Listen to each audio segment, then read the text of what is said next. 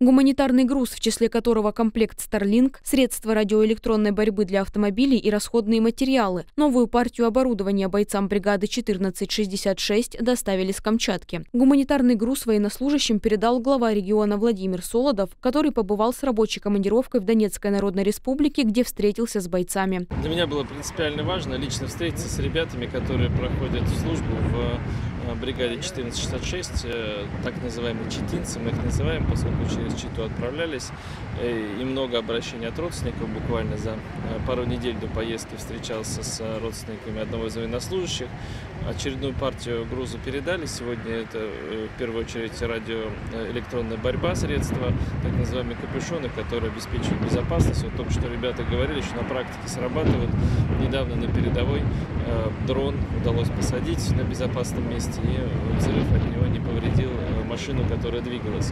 Эм, будем продолжать по взаимодействию оказывать помощь по всем э, запросам, которые идут.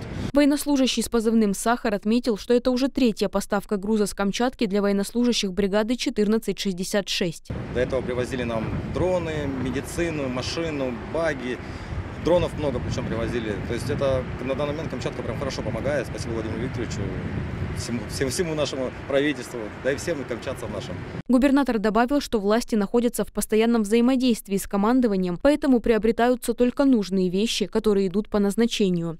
Важно, что, конечно, те, э, те приспособления, тот, э, тот груз, который мы передаем, он направляется по специализации Э, беспилотники в соответствующем подразделении средства защиты.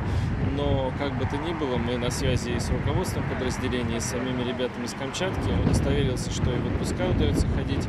Э, и в целом по бытовым вопросам, по крайней мере, они решены. Э, хочу еще раз подчеркнуть, что это не означает, что мы не будем реагировать на индивидуальные обращения. Каждый из них идет в работу, по каждому из них решение соответствующее принимаем, стараемся помогать вплоть до каких-то практических расходных вещей, которые нужны прямо сегодня.